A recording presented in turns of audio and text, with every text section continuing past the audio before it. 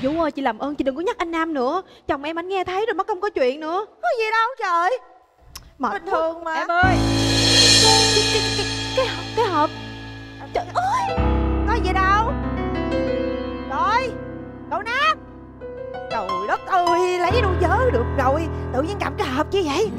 Nè tôi nói với cậu Ủa quên bậy. Cậu minh xin lỗi tại mới đây tôi lộn. À từ cái hộp này á là của cô ngân cổ để đâu phải để yên nguyên đó cho cổ. Cổ kêu tôi dọn dẹp lau chùi nhưng mà phải đặt đúng cái vị trí của cổ nha chứ không có được xê dịch. Cậu làm vậy cổ buồn á nha không được lấy.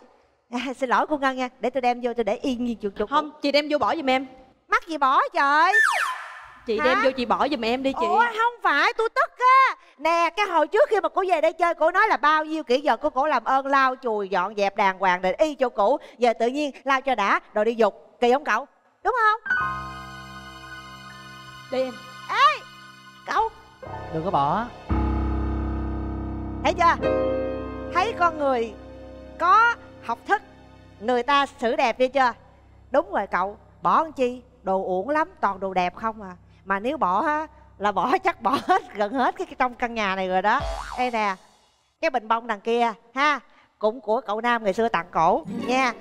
Hai cái ly này tặng cái hồi lễ tình nhân hồi năm ngoái. Đó còn cái hộp đó tặng noel. Trời ơi cái giống gì cũng là có hình bóng cậu nam đây trơn. Chị vú đúng không? chị im giùm em đi. Tôi nói thiệt tại vì mấy cái Chị đồ im giùm em đi. không có là tội đâu. Chị im giùm em đi. Cái căn nhà này nó càng mệt mỏi là từ cái mỏ chị mà ra đó. Trước khi em bỏ hết tất cả những thứ này là em bỏ chị trước á bà chủ mướn tôi chứ đâu phải cậu đâu. Cậu là ghế mà cậu đâu có quyền đuổi tôi đâu. Nhưng mà chị có biết cái câu á là trứng rồng lại đẻ ra rồng vô duyên lại đẻ ra dòng vô duyên là chị. Á. nhưng mà cái vấn đề này chị biết không? Cái vấn đề giữa em và vợ em á là em đang giữ hết sức bình tĩnh. Ủa vậy hả? Biết là em có giận À. nhưng mà cái giận của em chỉ là một ngọn lửa nhỏ nhỏ chút xíu ở trong lòng của em thôi. À. Còn chị là chị cầm nguyên một cái can xăng chị tạt vô trong mặt em. Chị hiểu không? Không cậu nói tôi mới hiểu á. Ừ. Thật chứ trời ơi tôi có sao tôi nói vậy mà đúng À. không? Nếu như á mà cô chủ á nghĩ tới cậu nam cậu nam nghĩ tới cô chủ vậy nó mới có tội đúng không? Mấy cái này nó đâu có tội. Cho tôi nha vậy đi chuyện vợ chồng xử nhau đi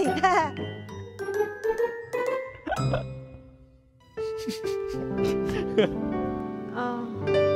À, thôi mình ăn sáng đi anh. Mấy cái đồ lặt vặt á mà trước sau vậy em cũng bỏ hết à. Em sống vậy em không mệt mỏi hả? Cái gì vậy? Em nói là mấy cái đồ lặt vặt thôi mà có gì đâu. Thôi ăn đi anh.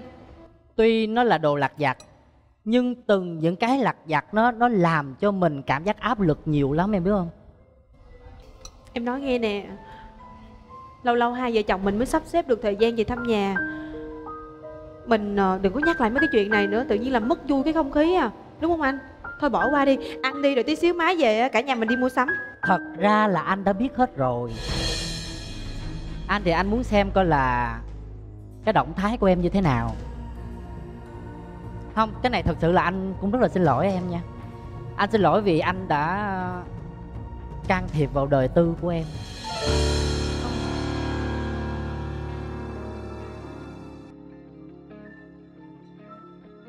Xin lỗi em vì anh đã đọc lén tin nhắn của em.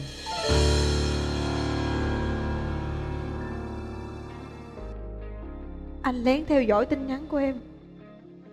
Không thật ra là đó chỉ là vô tình thôi. Lúc đó thì em đang bận bận cái gì đó ở trong nhà mà tin nhắn nó cứ reo liên tục. Anh tưởng đâu là cái công việc của em đang có chuyện gấp. Thì anh đành anh mở anh xem. Thì anh bắt gặp những dòng tin nhắn của nam nhắn cho em. À, nam có nhắn là sau khi cưới anh về em có hạnh phúc không? Em có vui không?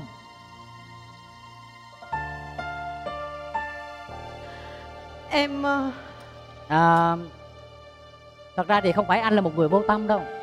Anh chỉ cảm giác nuối tiếc Và thực sự nuối tiếc. Thứ nhất Là anh nuối tiếc cho em là bởi vì chúng ta đến với nhau quá nhanh. Chỉ trong vòng 3 tháng thôi mà chúng ta đã tiến tới hôn nhân rồi. Lúc đó thì bản thân anh thật sự yêu em, nên anh không có suy nghĩ nhiều. Nhưng mà nếu như lúc đó anh có đủ thời gian và thấu đáo hơn, thì anh sẽ cho cái đám cưới chúng ta hoãn lại. Cũng may là với em và nam chưa có chuyện gì, tới nỗi là khiến anh phải đổ vỡ cái gia đình này. Đúng em chưa làm gì có lỗi với anh hết. Cho nên ngày hôm nay anh mới lên tiếng. Bởi vì anh không dám chắc thật sự đó là tâm lý của anh. Là bởi vì em có anh em có gia đình. Nếu như chuyện này còn tiếp diễn thì anh sợ là mình không có đảm bảo được cái gia đình này đâu. Và cái điều quan trọng rằng là nếu như thật sự em muốn thoải mái giữa em và nam thì hãy cứ để cho anh biết không cần gì phải giấu anh cả. Thì thật ra, anh nuôi dưỡng tâm hồn của em chỉ có 3 tháng thôi. Nhưng nam mới là người giúp em có được cảm xúc trong cuộc sống. Nếu như một ngày nào đó em cảm giác là em muốn gặp nam, anh sẵn sàng chở em gặp nam và chúng ta sẽ ngồi nói chuyện với nhau như những người bạn. Mình không cần phải giấu nhau đâu em. Nhưng nếu như em nói là mỗi lần nhắn tin với ảnh thì tất cả cảm xúc ùi về trong em. Nếu như em nói là càng nhắn với ảnh thì tình, cảm nó càng trở về em càng không thể nào quên được thì anh nghĩ sao? Vậy anh có thật sự còn yêu em không? Vậy thì bây giờ em muốn anh phải làm sao? Không có bất cứ một người đàn ông nào mà khi yêu vợ của mình để cho mình vợ mình có quyền nhắn tin với người yêu cũ hay là anh có người mới rồi? Anh có người mới rồi anh cố tình anh làm như vậy đúng không? Em bị điên hả? Lương lẹo.